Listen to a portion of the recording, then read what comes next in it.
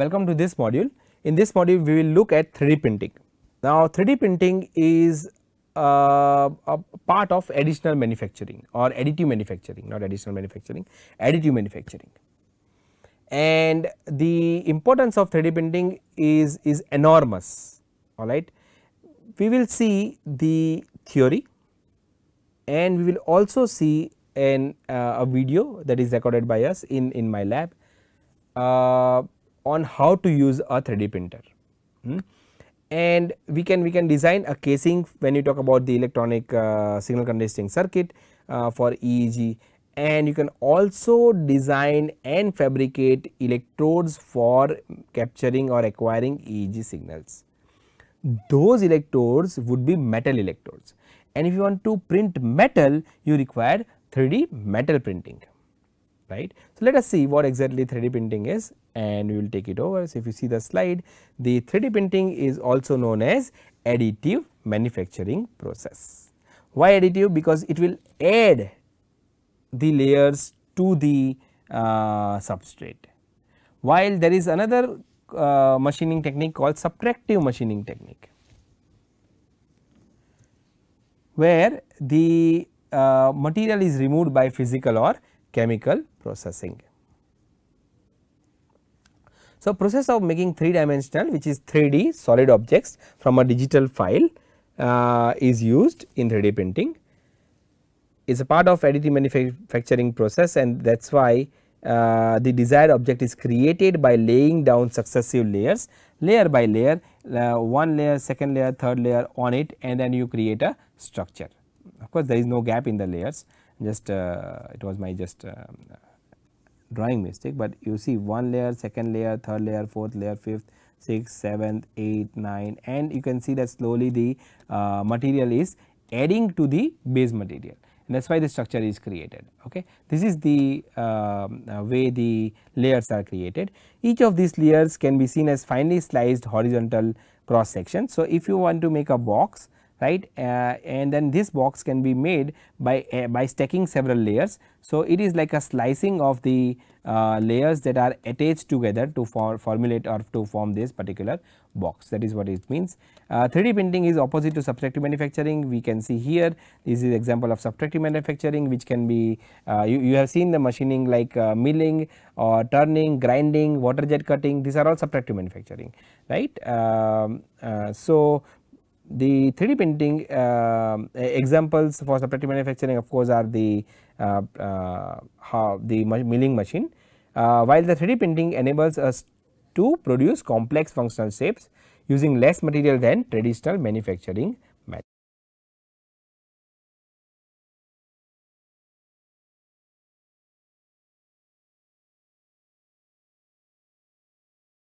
So, what you have seen in the video is the how the 3D printing kind of works. So, let us see the slide now what are the workflow of 3D printing. If you see the slide you will be able to see that uh, first is you have to you can scan. So, 3D scanning can be done either by scanning you can generate a STL file this STL file is used finally for the printing purpose or you design your own model using CAD okay or you can do photo scanning you take a photo and you can send it uh, uh, make a STL file. So, this is a digital model of the object 3D scanning CAD or photo scanning you prepare STL file and then the, there is a slicing and layer printing. Okay. So, slicing what is slicing the from 3D model to 3D printer slicing uh, a 3D model into into uh, in order to make a 3D printable uh, version we need to slice the model and is divided into hundreds or thousands of horizontal layer. So, suppose this is what we want to print right then it is first sliced in many many many parts and then it, it goes on slicing and then this part slice by slice this part is made to recreate your object as you are desiring which is the slicing process. Uh, 3D model is sliced and fed to a 3D printer this can be done via USB, it can be done via SD card or Wi-Fi and when the file is uploaded in 3D printer the object is ready to 3D print layer by layer. So, there are several modeling software available uh, that can be used uh, based on the uh, application or function uh, of the user industries. Uh, there are software applications on the market that cater uh, to a broad range of industries example for aerospace, for transportation, electronics device packaging, 3D printed sensor technology and many others. And you can see here several software available right from Blender to SketchView to SolidWorks, Fusion, Inventor, Maya, AutoCAD and many until you go to uh, uh, 20 which is Onshape uh, software and you can see that uh, uh, there are several things uh, based on the general score like social website, forum, YouTube models, Google and based on that the uh, score that is given uh, to Blender is, is highest compared to other. However, uh, we can we can take any any one from first 7 if you want to start working on 3D printing. We will show you to you how to how to use the 3D printer as I said and then what we have we can use several materials for printing it can be plastic it can be metals. So, metal 3D printer is the separate uh, uh, than the plastic 3D printer. When you talk about plastic we can use uh, PETG, we can use nylon, then you can use thermoplastic, you can use ABS, you can also use resin, you can use uh, ASA, PEI, PLA and so forth. Finally, uh, if you want to go for metal it can be nickel alloy, stainless steel, aluminum, cobalt, chrome and titanium. So, these are 3D printing materials that are used. You can you can uh, uh, print several objects as you can see here in this slide. If you want to go for polylactic acid material you see the objects printed using PLA material is uh, this is uh, used for low cost non functional prototype uh, offers greater details than ABS, but is more brittle unsuitable for high temperature applications. Again depending on the applications that you want to uh, use for you have to change the materials.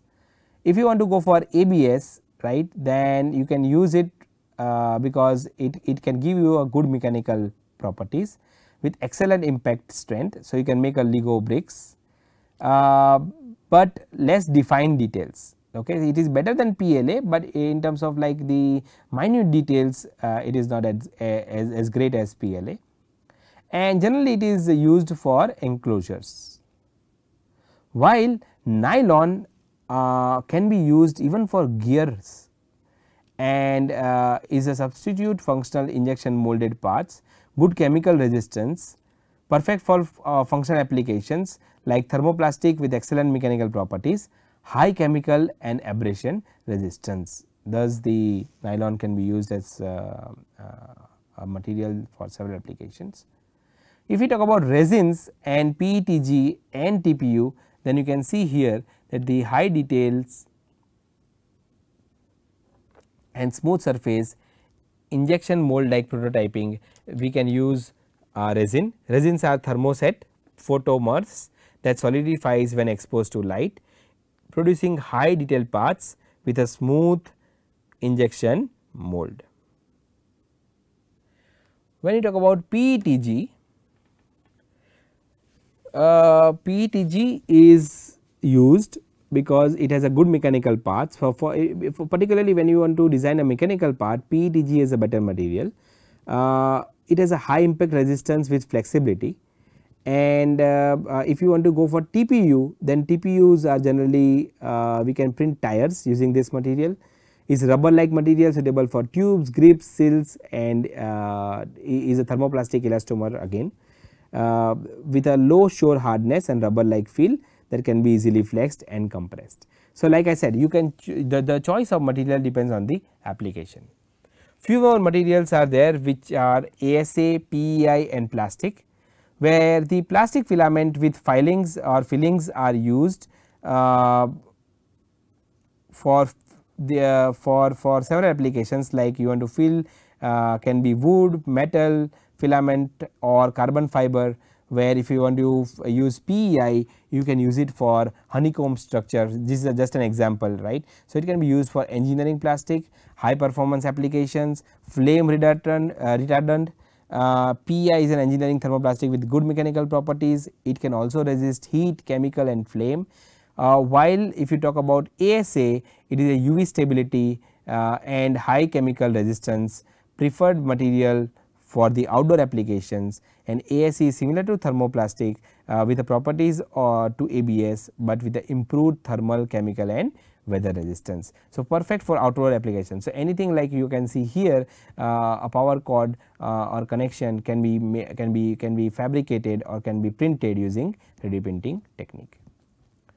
When you want to go for engineering kind of solutions, a complex solution, you can go for PEI, where you want to use for filing, uh, the you can go for plastic filaments. Then we have metals. So, we have stainless steel, we can design or print fork, we can design and print knife and spoon. While the importance of stainless steel everybody knows, however, just to uh, for the sake of finishing this particular uh, 3D printing stainless steel part, let me read it.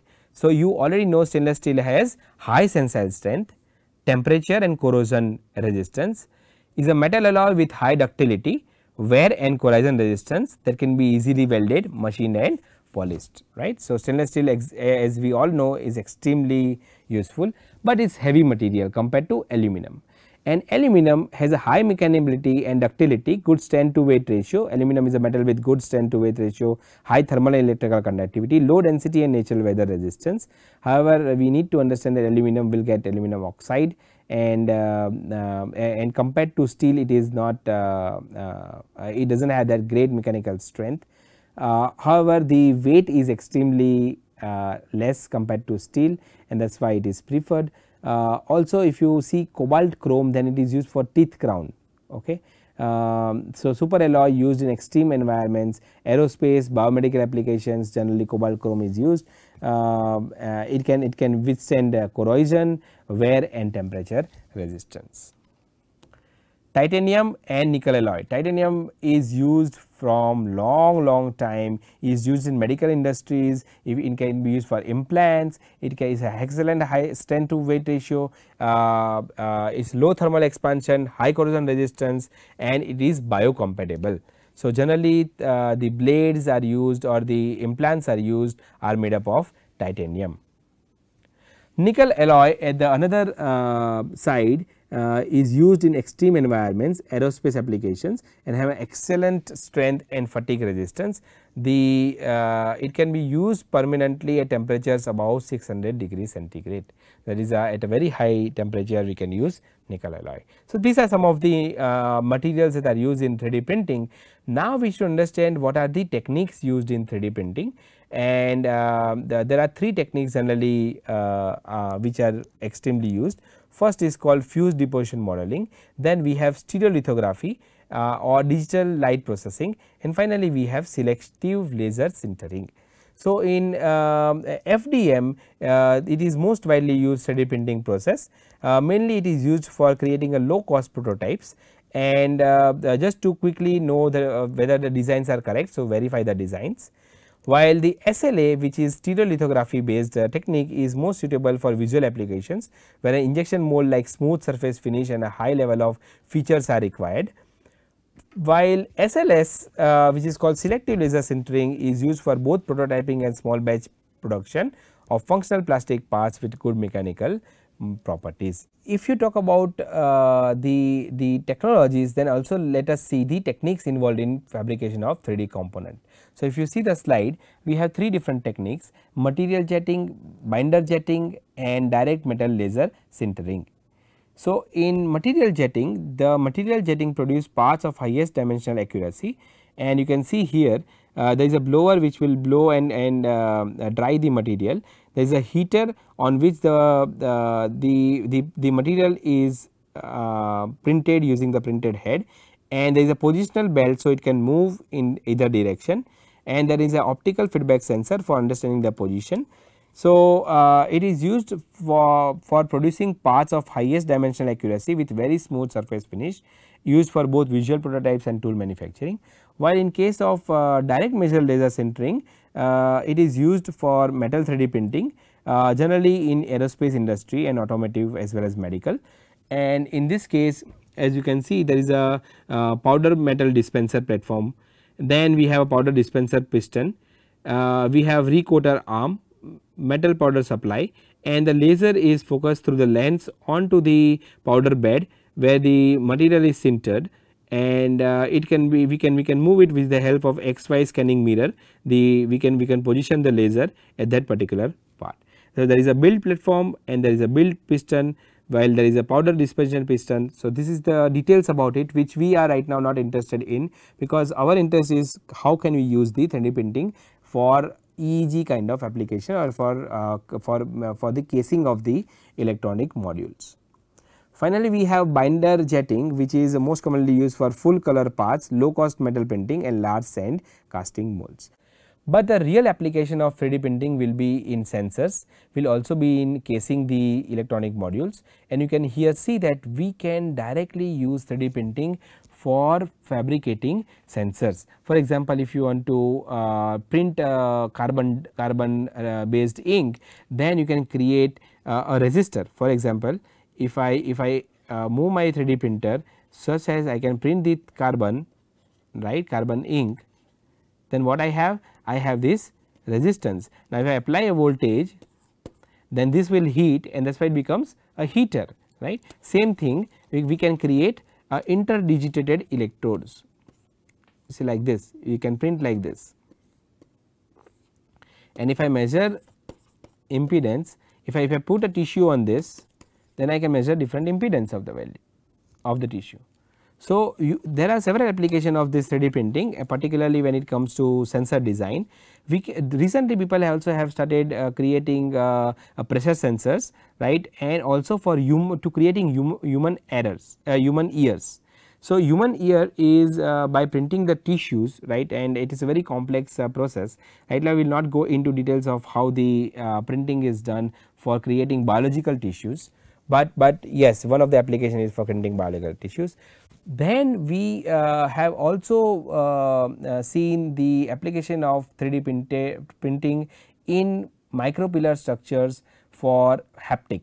So, to convert the force into haptic is very important to the, to get the feel uh, the feeling when when you operate a equipment uh, the feeling of touch like for feeling of how much pressure you are applying to a system this can this is called haptics okay so the haptics can be uh, uh, can be integrated if uh, you have a tactile sensor or a force sensor that can be printed using 3D printer. So, this force sensors or tactile sensors can be printed again with the help of uh, 3D printing uh, materials or, or techniques uh, even the recording electrodes can be uh, printed and that is our idea. EEG recording electrodes while uh, there is a electrode cap you can see here and uh, there is a wire connection pad. Uh, it is it is uh, tested on the fish and same thing you can create the electrodes with spike with the metal printing you can see here also right. So, top side showing 4 mm snap connectors